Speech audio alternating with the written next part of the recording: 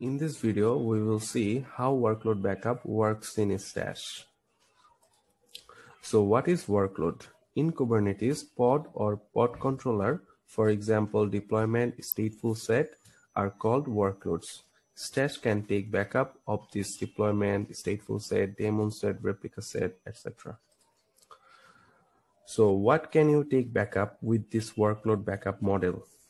You can take backup of directories and individual files. Now let's see how workload backup works in Stash.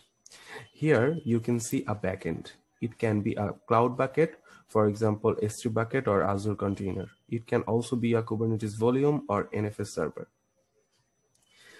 In this backend, we will store the backup data. User creates a storage secret. This storage secret contains the access credentials for the backend. Then user creates a repository CR. This repository CR contains the information about the backend. After that, user creates a backup configuration.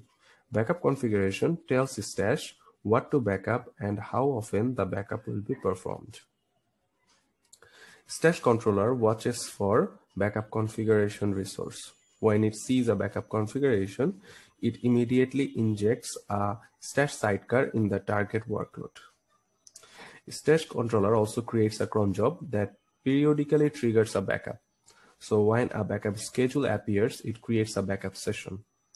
The stash sidecar watches for backup session resource. When it sees a backup session, it immediately takes backup of the workload in the backend.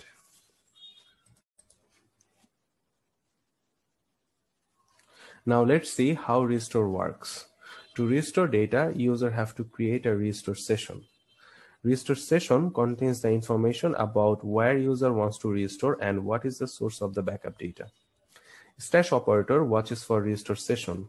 When it sees a restore session, it immediately injects a stash init container in the target workload. The target workload gets restarted with the init container and the init container restores the data from the backend. In the next video, we will see a demo for the stash workload backup.